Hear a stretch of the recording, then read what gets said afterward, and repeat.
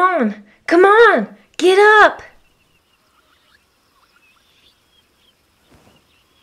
You're okay! It's me, Epona. I can talk now.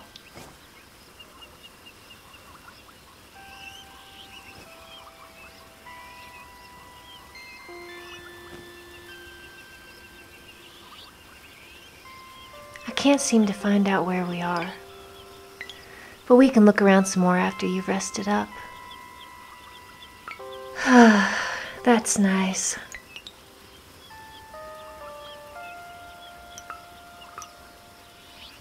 I've never been able to tell you how good your hands feel.